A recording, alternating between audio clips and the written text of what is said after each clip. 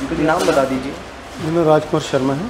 क्या कुछ घटना हुई अभी हमें रात को फ़ोन गया यहाँ से रात को दस बजे। कि ऐसे ऐसे करके बात है कि आपकी बेटी को गोली मार दी? क्या करती थी बेटी? कहाँ रहती थी? कुछ? बेटी रिद्धि सिद्धि ये सामने फ्लैट है अपार्टमेंट इसमें रहती थी। इसका अपना ब्यूटी पार्लर का काम था। रात को साढ़े नौ बजे किसी काम से गई पता नहीं क्योंकि मेरे को इतनी बात हुई नहीं वो। बेहोश है अभी। तो गोली मार के चले गया। पुलिस प्रशासन से यही मांग करते हैं कि जो दोषी हैं उनके सख्त सख्त से सख्त खिलाफ कार्रवाई की जाए। क्या लगता है आपको कोई रंजिश हो या फिर किसी से कोई बातचीत हुई? इसके बारे में मेरे को कुछ पता नहीं है क्योंकि अब बेटी है बेहोश है उसके बारे में बेटी बता सकती है मेरे कुछ पता नहीं किसके साथ रंजस है या क्या वाक़ा हुआ वाह। साल से यहाँ पर यहाँ पे लगभग तेरह तेरह साल से। इस दौरान कोई झगड़े की बात तो किसी नहीं कुछ झगड़े की बात कुछ नहीं है।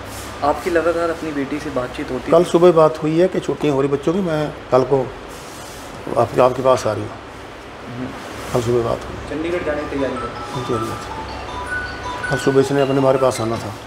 तो बच्चों की छुट्टी हैं तो छुट्टियों पर वहाँ पर रहना था इसने। पुलिस से बात हुई आपकी पुलिस प्रशासन के यहाँ की? तो क्या कुछ उनका कहना है कि किस तरीके पुलिस पूरी भागदौड़ कर रही है क्राइम ब्रांच वाले हैं इंटेलिजेंस वाले हैं सीआईडी वाले हैं। और जो पुलिस स्टेशन वाले हैं वो सभी बार बार आ रहे हैं।